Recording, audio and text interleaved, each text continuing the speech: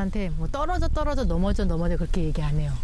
왜냐면 넘어지는 거가 나쁜 게 아니라는 거를 아, 리나가 알았으면 좋겠어요. 넘어지고 실패하는 게 나쁜 게 아니라 넘어지면 이제 일어나는 걸 배우면 되는 거고. 그래서 뭐 조심하지 그래서 그런 말 안 하거든요. 아이고야, 아이고야.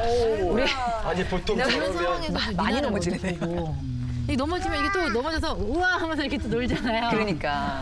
재밌긴 했고. 막 보통 막 우는데. 아니야, 막 땅에서 피어나는 꽃 구경하고 이러는 거잖아, 또 가깝게. 어머, 어머. 네. 불임 판정을 받으셨어요. 어. 근데 어떻게 아기가 와, 하늘이 주신 선물이네. 네, 기적 같은 아기예요. 와, 맞아요.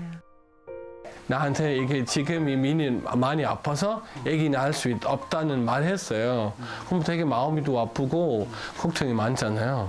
그게 또 꿈이 되게 아빠의 어, 마음이 있어요. 아기 많이 낳고 싶어 하는 마- 마음 있잖아요. 그러면 그거 당연히 또 슬프고 많이 힘들었어요. 힘든 시기 보내다 임신 딱 됐다는 얘기 들었을 때 어떠셨어요? 아 저희 놀랬겠다.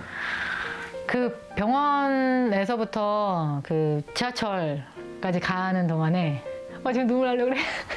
아 그러게. 기적 같은 이야기다. 근데. 초음파 그거를 이제 보면서 웃다가 울다가 웃다가 울다가 웃다가 울다가 계속 그, 그 지하철까지 계속 웃다가 울다가 웃다가 울다가 계속 어. 제가 이렇게 그랬어요. 진짜 잘 됐다. 아니 지하철 나머지 사람들이 어 이 여자가 약간 저는 좀 있다고 정신이 좀 우리 같이 울고 웃고.